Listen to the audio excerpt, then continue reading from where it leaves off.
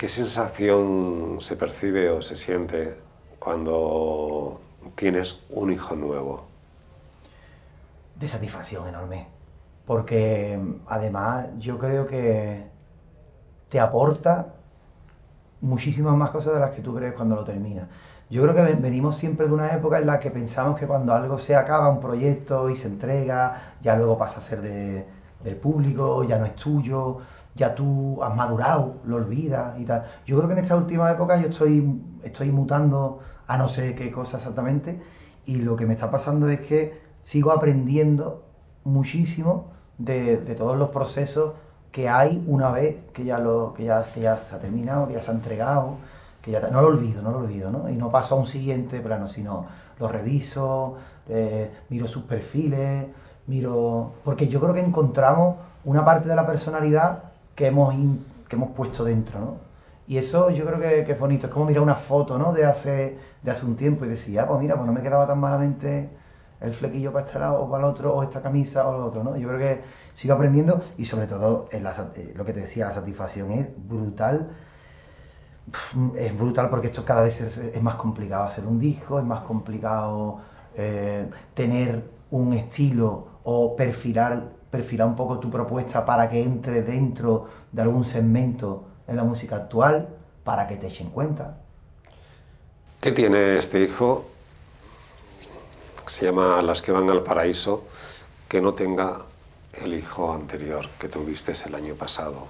Este disco tiene una luz distinta porque Las que nadie quiso, que fue la primera parte de esta historia, eh, venía desde la sensibilidad, pero venía también desde, desde un lugar en el que yo necesitaba reivindicar algo. Yo necesitaba gritarle un poco a, al mundo a la gente que, que me rodeaba que ¿por qué no? no? ¿Por qué no? ¿Por qué no una persona de repente eh, decide cantar sus propias canciones, eh, decide eh, ponerse en el sitio como un cantautor y decir, bueno, yo tengo muchas cosas que decir, no solo tengo algo que decir. Entonces, este disco tiene una luz distinta porque yo ya veo y descubro en mí que creo que hay una, una reserva bastante grande, ¿no? no voy a decir un post inagotable porque eso no sé cuándo va a pasar. Pero sí veo que hay ahí una reserva grande y en, el que podemos seguir transmitiendo cosas con las canciones, contando cosas e incluso ayudando a ciertas personas. Porque en este disco hay alguna que otra canción que reivindica eh, la, posición de algunas personas por ayudar a otras. No huir, no huir cuando hay problemas, ¿no? como lo bien vivido. ¿Se puede decir que eres un cantautor protesta? No creo, no creo, en un sentido global no creo, pero sí hay una parte de mí que le duelen las cosas y que se tiene que, que muchas veces lo deja suelto, pero otras veces tengo que perfilarlo de manera que, porque yo quiero, yo quiero pasar por la vida y quiero pasar por este camino, eh, hombre, no desapercibido, pero quiero pasar de una manera elegante, de una manera tranquila, de una manera con clase, no quiero pasar partiendo cosas ni nada, pero el dolor que te produce o la, molestia que te producen ciertas cosas que pasan delante de ti, la sociedad, en el sistema, eso hay días que no puedes evitarlo. Y salen cosas como, como la canción Paciencia, por ejemplo, que es una canción que reivindica un montón de cosas. Intenté meter en tres minutos todo lo que me estaba doliendo en ese momento. ¿Duele más las directas o las indirectas? Duelen más las indirectas. Las directas, las directas al fin y al cabo, si eres buen tenista, ¿eh? si eres buen tenista, haces así y la deja pasar, la, rebota, la, lanza con un, poquito menos de intensidad. Pero las indirectas duelen más porque las indirectas luego pueden, si no están bien gestionadas, pueden seguir creciendo dentro de ti. Y eso mm, no me gusta tanto. ¿Y cómo, cómo crece, cómo crece Ricky Rivera? se alimenta de todo lo que pasa por delante de, mi alimento, me, me, resulta muy raro hablar de la persona. Yo me alimento de todo lo que pasa por delante de mí, pero de, por, una manera, yo creo que eh, la cosa no está en, en donde tú, en qué fuente bebas, sino eh, con la calma con la que lo percibas y con la tranquilidad con la que tú te sientas en el momento. Yo creo que ahí está todo. Yo crezco eh, porque tengo todos los sentidos completamente abiertos y no tengo miedo a nada. Eso es súper importante. Lo que pasa es que sí practico el análisis, es muy importante. ¿Con qué, ¿Con qué, calma percibiste y recibiste tu primer Goya? Hombre, con la calma de que se había hecho un trabajo bastante bueno, bastante elaborado, artesanal al 100%, porque tuvimos que hacer muchísimas versiones, muchísimos cambios de arreglo, mmm, porque el cine tiene unos códigos distintos, y entonces yo aquello lo recibí mmm, eh, como diciendo, nos lo merecimos, ¿sabes? Y eso es bonito. Después de haber trabajado y trabajar con Vanessa Martín, Ana Belén, Malú, Pablo Alborán, Cepeda, Miguel Poveda, Aitana, Niña Pastori, Antonio José, David de María, un largo etc, etc, etc, ¿crees que se te está dando el lugar que te mereces en la música? Hombre, yo creo que eso es complicado. Yo no, no creo que creo que hay que seguir trabajando. Yo creo que hay que seguir trabajando y no eso, eso que tú preguntas, yo hay, hay, que pensarlo una vez al año, una vez cada cierto tiempo, cierto largo tiempo. Creo que tengo el sitio que me merezco, creo que estoy. Y, si, si no, seguir trabajando y seguir haciendo cosas bonitas y no, no darle mucha importancia a eso. Porque, porque, bueno, en mi caso llevo muchísimos años haciendo canciones. En la música casi cumplo ahora 25. Entonces empecé muy joven, muy joven. Y entonces Mm, seguimos aquí, seguimos luchando, seguimos creando nuestros propios discos, seguimos gestionando nosotros nuestras propias eh, giras, nuestros propios conciertos, seguimos conectando y, llevando si hay que llevar y si hay que eh, montamos nosotros nuestro propio directo y si hay que ir se va y si hay que venir se viene. Entonces, en ese sentido, si te pones a analizar realmente, tú dices, bueno, creo que merezco un poco más. Por ejemplo, que la radio esté un poco más abierta a apoyar este tipo de música o, cosas así. Pero ya te digo que es una cosa que lo piensas un ratito y después dices, bueno, pues nada, seguimos, continuamos haciendo música hasta que un día pase lo que tenga que pasar. Y pasó lo que tenía que pasar. Eh, embajador musical del Congreso Internacional de la Lengua Española 2023, celebrado en Cádiz, en tu ciudad, en tu tierra, ese lugar que te vio nacer y ese lugar que tanto llevas en tu ADN. Eh, ¿Cómo fue? El, ¿Cómo te llega la noticia y cómo fue todo ese proceso? Eso ha sido una de las cosas, esos son de los, de los giros de guion más, más interesantes que, yo creí que me iban a pasar a mí de repente, pero fue todo muy rápido. Eso es una, una entrevista que tengo con, con, Lola Casalilla, que es la consejera de Cultura, y me comenta que quieren que yo haga una canción porque ellos tienen afinidad por una canción que yo tengo que se llama Toda mi gente viene conmigo, que habla de la unidad, que habla de la fiesta, que habla de que nadie debería estar solo, ¿no? que anima a todo el mundo a que, a que no deje nunca a nadie solo. Y eso a ellos les toca y, les gusta y les parece interesante para eh, lanzar un mensaje. Y me comentan que viene el Congreso Internacional de la Lengua y que quieren una canción viva, una canción tal, una canción abierta, una canción que tenga unidad, que una a los pueblos, que una tal, ¿no? Entonces me fui, eso fue un 4 de enero, no, no, eso, eso fue, me lo comentaron en Navidad, y el 4 de enero tuvimos una reunión y ya le expliqué que se me había ocurrido, se nos había ocurrido hacer una historia, que es la típica historia que, en la que una persona que habla de una determinada manera critica, critica mm, amablemente a otro porque habla de otra determinada manera. Y así surge un poco la historia de la lengua. Eh, no sé si voy a ser malo o voy a ser un poco voraz. Pam, pam, pam, pam. Pero eh, ¿no crees que es injusto que este Congreso al final se haya quedado en un relegado en un tercer plano porque todos los focos, todos los medios de comunicación y todas las portadas de los periódicos al final fueran destinadas a su majestad tocando el cajón. por supuesto. Estas son cosas, esos son giros que, que, nadie se lo puede esperar, esas son cosas que no, que no, que nadie se puede esperar que esa cosa pase. Que es simpático, que, que, me pare, que nos pareció a todos simpático, que nos pareció interesante. Yo estaba al lado, yo estaba a 10 metros de, de, del rey en ese momento y, pero que se use a lo mejor como para que otra, como para que a lo mejor no se hable de fundamento y de, del que lleva el Congreso, es, bueno, pero no sé, en cualquier caso estuvo ahí, pasó. Yo justo tenía una entrevista, yo había grabado una entrevista justo antes que iba a salir a nivel nacional en prime time, en uno de, de, de las canales más importantes, Y no salió, no salió por eso. Se tumbó, se tumbó la entrevista, o sea que imagínate. Pero nada, nada, son cosas, son como te dije antes, son giros, son cosas y, y, al final nos debemos un poco a eso, ¿no? A los medios y los medios hagan lo que, lo que, lo que ellos crean oportuno en ese momento.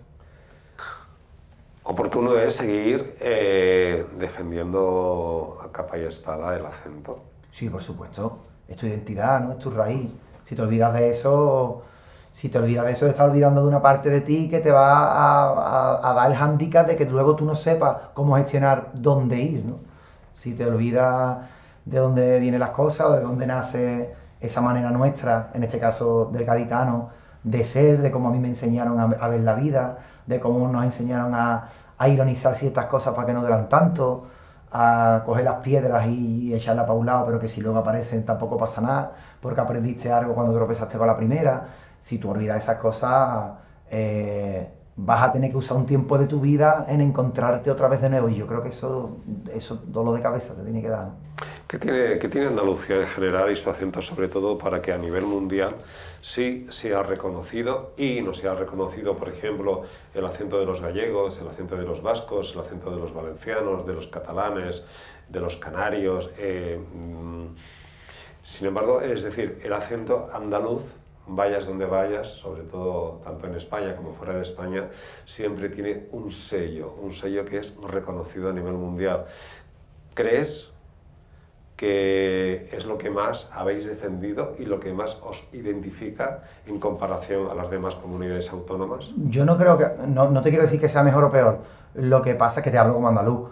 Eh, yo creo que el acento nuestro está unido a una forma de vivir muy interesante, a una forma de sentir muy interesante, a una forma de, mm, a una gastronomía eh, brutal, a luz, está unido a a, oxígeno, está unido a fiesta, está unido a, que el arte que ha salido de Andalucía eh, siempre ha estado, o, gran parte del arte que ha salido de Andalucía está avalado por eso y está cuidado por eso, por toda esa manera, por todo ese aire.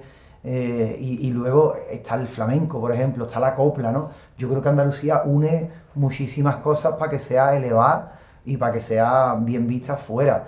No te puedo hablar, a mí Canarias me parece una maravilla. A mí el norte me parece, yo soy un amante de mi país, ¿eh? O sea, yo adoro mi país de punta a cabo porque tengo la suerte de, de viajar mucho por de gira, ¿no? Y de hacer muchas giras con gente.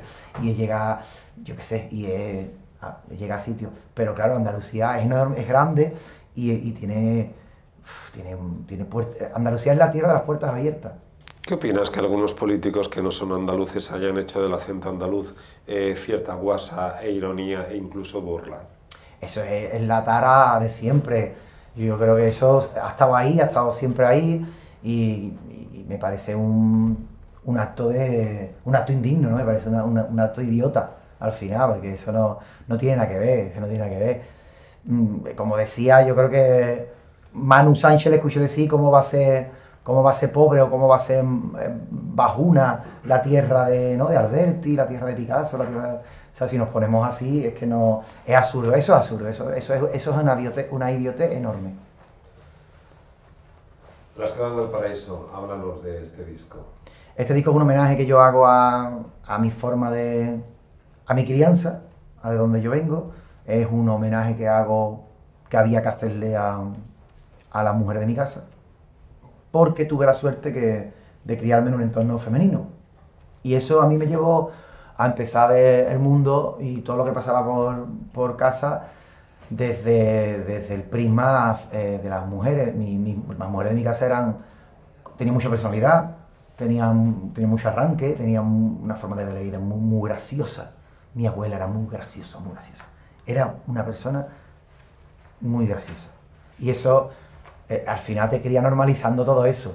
Entonces, es un, yo, yo, yo tengo una edad en la que a mí me toca criarme en la época de la televisión, o sea, de que le haces caso a todo lo que sale por la televisión. O sea, de que miras la televisión como un ente, ¿no? Que es el que, lo que sale por ahí es lo que está pasando y tal, ¿no?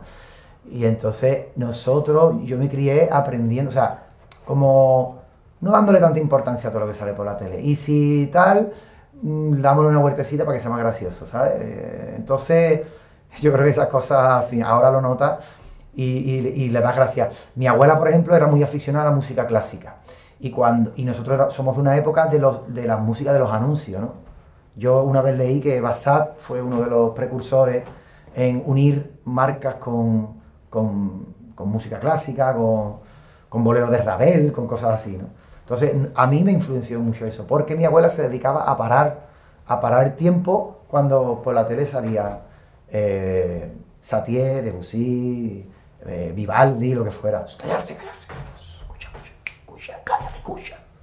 Entonces ahí se paraba y entonces tú oías y decías, wow, qué bonito, tío. Y ya está, y seguía la vida. Y esas cosas al final son las importantes cuando tienes un niño, ¿no? Decirle a un niño, mirarlo a los ojos y decirle, cállate, escucha esto, que es esto, lo que, que aquí hay cultura, que aquí hay riqueza, ¿no? Entonces se merecía un disco, un show y una rotonda en la castellana, se merece en ella. Gran defensor de las mujeres. ¿Cómo, perdón? Gran defensor de las mujeres. Sí, sí, claro, por supuesto.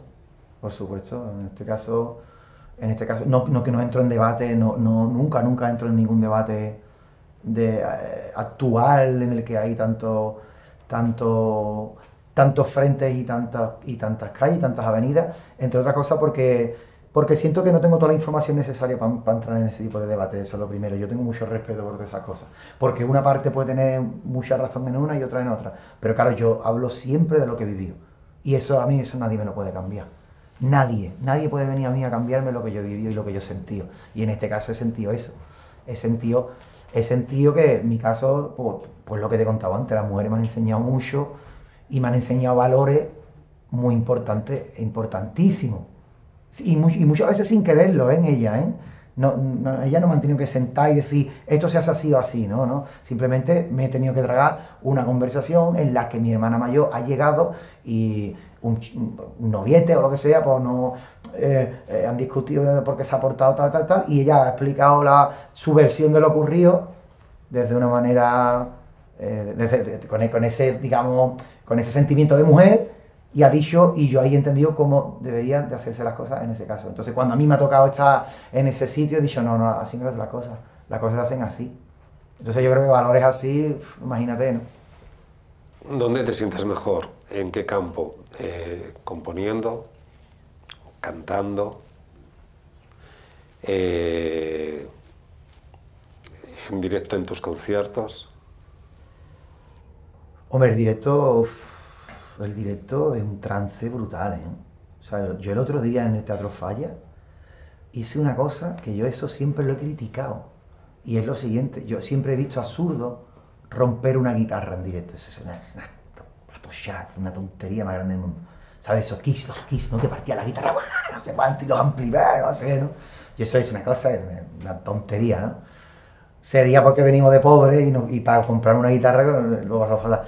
Pero yo el otro día, al final de uno de los temas, tío, que termina con un globo, la batería, ahí, el globo, el globo crecía, crecía, y yo empecé, como no podía hacer más ruido, empecé a darle golpe, pero golpe, pero golpe, y yo le di, le metí castaña, y, y, yo ahí, ahí sentí una cosa fuerte que no había sentido nunca, y es mm, lo que te está aportando mil personas que había en ese teatro que ha entendido perfectamente tu discurso, pero perfectamente, todo el discurso de dos horas y veinte, todas las canciones, todos los arreglos, todos los, todos los dolores, todas las flores, todas las inquinas, todos los chispazos, lo han entendido, porque estaban de pie, aplaudiendo como locos, claro. Entonces ahí dice tú, Dios mío de mi vida. Entonces eso tiene una cosa súper fuerte, que está incluso cerca de lo divino, está cerca de lo, de lo, del éxtasis, ¿no? Está cerca de unas cosas muy rara, o sea, muy grande, digamos, pero la parte de composición es más lenta, ¿no? Es más pausada, es más sensorial y es también muy sensible, porque yo, componiendo las que van al paraíso, la canción, la canción, hice la melodía y empecé a escribir, ¿no?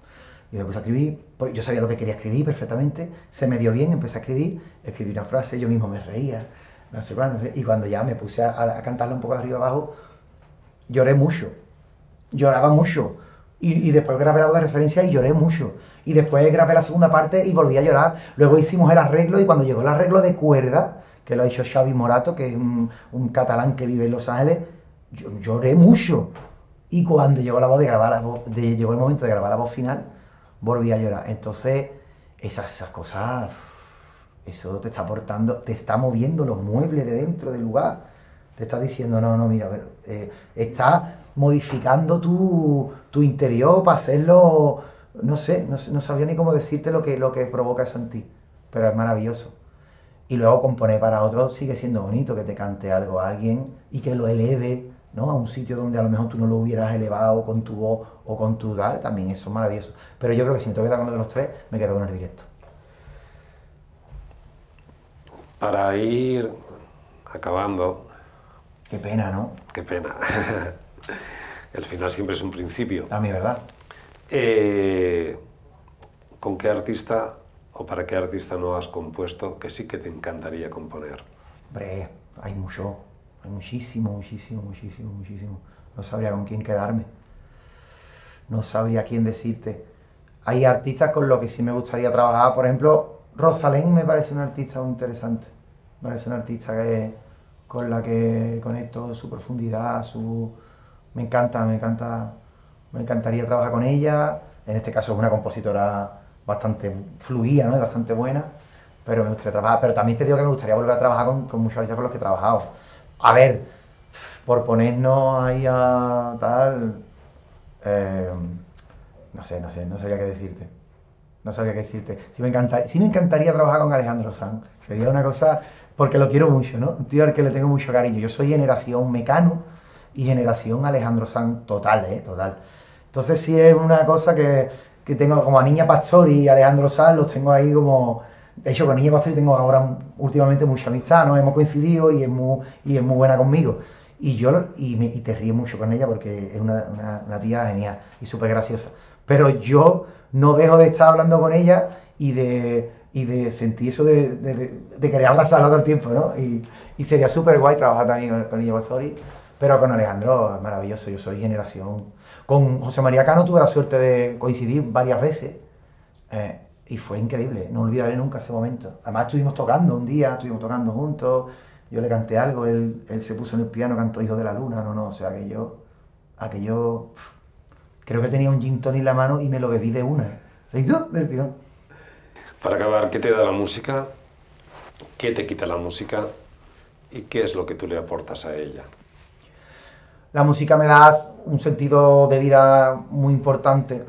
Después de todo lo que yo llevo vivido, que ya no soy, no soy un chaval de 20 años, y me da un sentido que, que es necesario para poder levantarme por las mañanas y decir qué bonito, qué guay lo que hicimos ayer, qué guay lo que vamos a hacer hoy y qué chulo lo que va a pasar mañana. Me quita mucho tiempo y a lo mejor me está quitando ciertas cosas que yo ya debería de haber vivido por la edad que uno tiene.